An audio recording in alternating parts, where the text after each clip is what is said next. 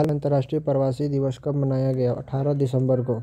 हाल ही में किस स्मॉल फाइनेंस बैंक ने थ्री इन वन खाता बचत प्लस व्यापार प्लस डीमैट सुविधा शुरू की? Equitas small finance bank. हाल ही में किस स्मॉल फाइनेंस बैंक ने थ्री इन वन खाता बचत, व्यापार और डीमैट की सुविधा शुरू की? है तो इक्विटास स्मॉल फाइनेंस बैंक। हाल ही में हाल ही में निकोलाई सिवका को किस देश का अंतरिम प्रधानमंत्री नियुक्त किया गया है? रोमानिया।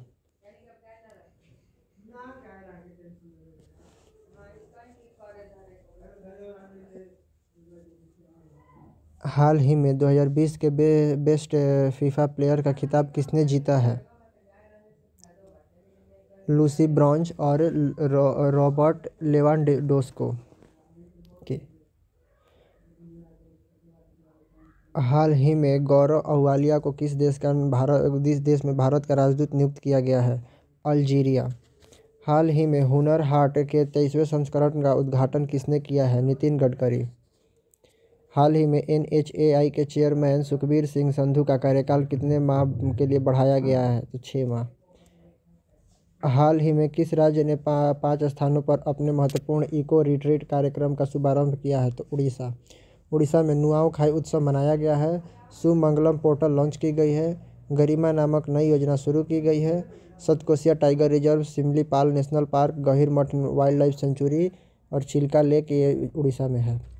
हाल ही में किस देश ने डोप फ्री खेलों के लिए वाडा के ज़ीरो, वाडा को एक मिलियन डॉलर देने की घोषणा की है? तो भारत। हाल ही में बॉम्बे स्टॉक एक्सचेंज द्वारा लॉन्च किए गए ई कृषि स्पॉट मार्केट प्लेटफॉर्म का नाम क्या है? तो बीम।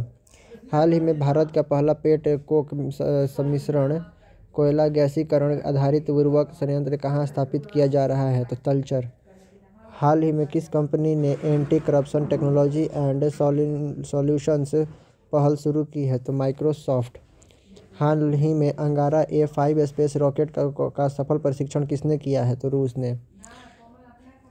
हाल ही में एक्सिस बैंक ने किस देश को बुनियादी ढांचा परियोजना के लिए चार सौ अड़तालीस मिलियन डॉलर का ऋण दिया गया है? उज्बेकिस्तान।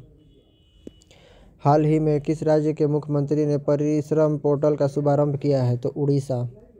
हाल ही में किस राज्य सरकार ने अपने लोगों को मुफ़्त टीकाकरण कर, करने की घोषणा की है? तो बिहार। धन्यवाद।